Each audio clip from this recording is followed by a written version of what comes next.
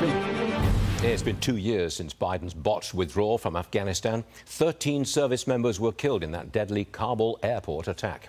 A new book claims those 13 Americans never had to die. Jerry Dunleavy is with me. He's the author of Kabul, the untold story of Biden's fiasco. Jerry is with me now. Did our intelligence service know the name and location of the bomber in advance?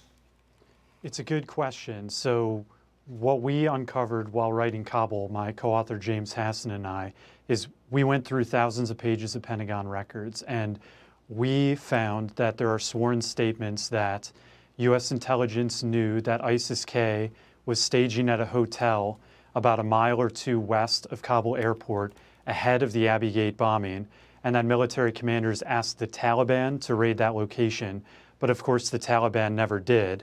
And on top of that, uh, there are sworn statements that U.S. intelligence uh, and U.S. military were tracking and searching for ISIS-K locations in Afghanistan, and that a U.S. officer requested to conduct a strike against an ISIS-K location in Afghanistan before the Abbey Gate bombing, but that the request was denied by military commanders, it looks, at least in part, due to a negative response from the Taliban. Hmm. And on top of that, we, we now know that the bomber himself, whose name is Abdul Rahman al-Logari, was in prison at Bagram.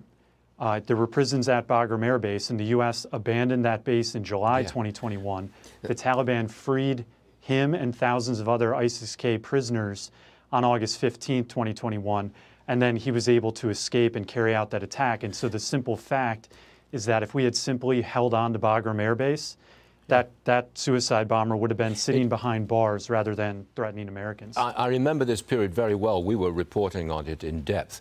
Uh, it, it, it seemed to me that when America withdrew air power and withdrew intelligence services from Bagram, when we did that, the collapse was inevitable. That was the, not exactly the turning point, but that was the moment when the collapse accelerated. Am I right? I mean, I think that the U.S. abandonment of Bagram was very unfortunately the, the death knell of the Afghan yep.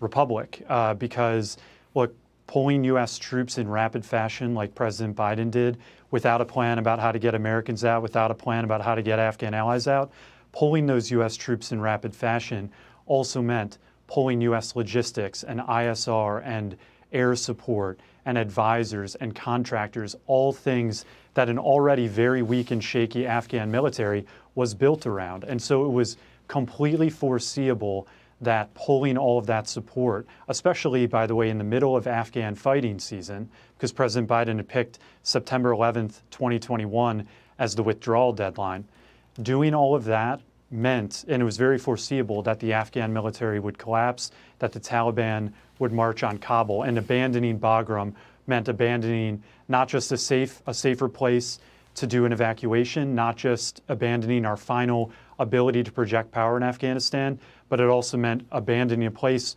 that had prisons that were teeming with ISIS-K terrorists, including one who would go on to kill those 13 Americans. It was a catastrophe, and that's a fact.